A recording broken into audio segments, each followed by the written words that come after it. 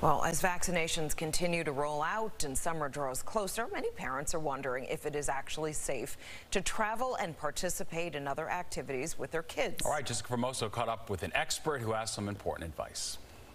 We're not just going out to play with people that we don't know. Liz Stern, entrepreneur, author, and mother of three, says she will be spending more time outdoors this summer, but her kids will continue to wear the mask. I'm still taking every single precaution. Stern got COVID last year, and even though she and her husband have already been vaccinated, they are not taking any chances. Most of my daughter's play dates, she's younger, um, they happen outside and they happen within her pod of friends. So we know who those friends are, where who the parents are, where, like where they've been. Indoor play dates, she says, are still on pause for her family, something Dr. James Conway, professor of pediatrics at the University of Wisconsin School of Medicine, agrees with. Indoors with people that are from outside your bubble is just asking for trouble. That's because he says kids are a source of infection. With these more transmissible variants that are around, we are starting to see some kid related outbreaks.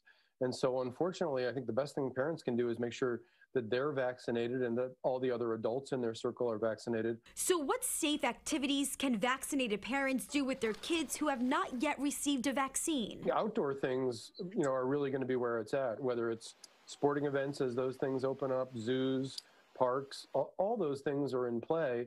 And again, you know, I think it's reasonable if it's a reasonably safe family that they're playing with. I think it's reasonable for those kids to drop masks and to be cautious. Outdoor pools, another option. However, getting on a plane with an unvaccinated child, he says, is a no no, at least right now. Until we've got all of the adults having had an opportunity to get vaccinated and get more towards to the point where 80 or so percent of the adults are immunized, I think that it's going to be still risky for kids to be traveling on planes. And Dr. Conway says if you decide to do indoor play dates, he says make sure you do it with families who are in your bubble. I'm Jessica Formoso, Fox 5 News.